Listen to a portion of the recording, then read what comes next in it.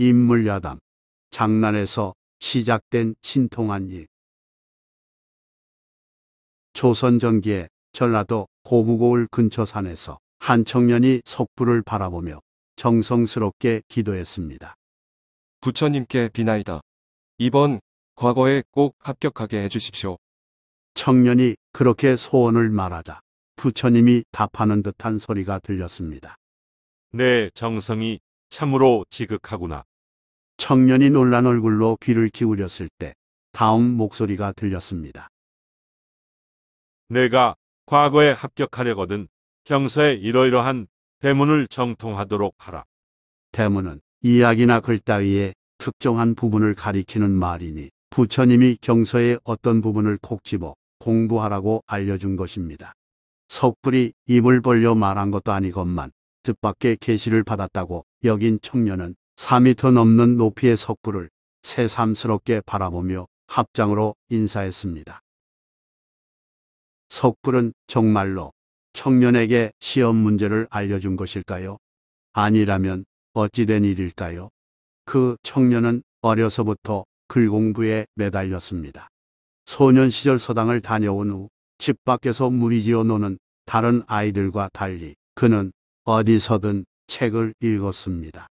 친구들이 뒷동산이나 개울로 가서 놀자고 유혹해도 소년은 꼼짝 않고 방에 앉아 경서를 외우고 틈틈이 시를 지었습니다.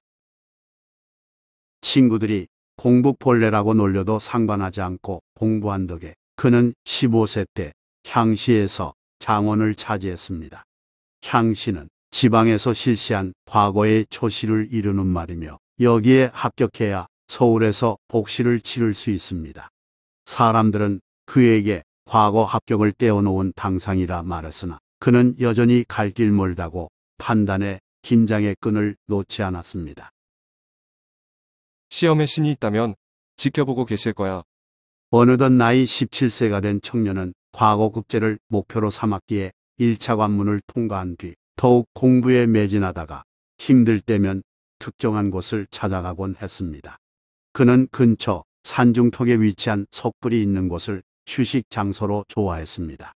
주위 경관이 뛰어나게 아름다워 그곳에 있기만 해도 마음이 평안해지는 느낌을 받았기 때문입니다.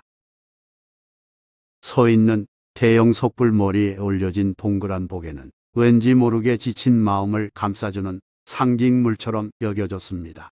청년은 글을 읽다가 피곤하여 쉬고 싶으면 석불이 있는 곳으로 가서 전망을 바라보거나 근처 잔디에 앉아 맑은 하늘을 바라보고 밝은 미래를 상상하며 충전했습니다. 길을 걸어가는 그에게 누가 어디 갔다 오냐고 물으면 그는 빙긋이 웃음으로 답했습니다. 그날도 여느 날처럼 산중턱으로 가서 석불에게 간절한 마음을 나타냈습니다. 이때 미리 석불 뒤에서 기다리고 있던 한 친구가 목소리를 변조해서 부처님처럼 응답했습니다. 청년은 그 말을 계시 겸 응원으로 생각하고 석불이 가르쳐준 대목을 철저히 암송했는데 놀랍게도 정말 그 부분이 출제되었습니다. 덕분에 청년은 그의 별시문과에서 장원을 차지했습니다. 불과 17세 나이에 당당히 급제하여 금이 환영하자 한 친구가 찾아와서 말했습니다. 일전에 자네가 석불에게 기도할 때 내가 석불 뒤에 숨어 있다가 장난삼아 한 말을 기억하는가? 이에 청년은 빙글에 미소 지으며 답했습니다. 그것은 부처님께서 자네로 하여금 그렇게 하라고 가뭄의 계시를 내려 벌어졌던 일일세. 그러므로 나는 자네의 말이 아니라 부처님의 말씀이라 믿고 있다네. 그 말에 친구는 두 번 놀랐습니다.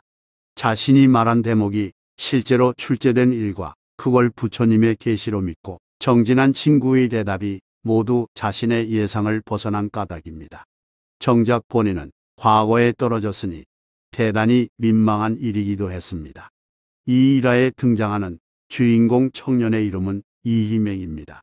그는 재능보다 노력을 중요하게 여기고 실천해서 뜻을 이뤘습니다.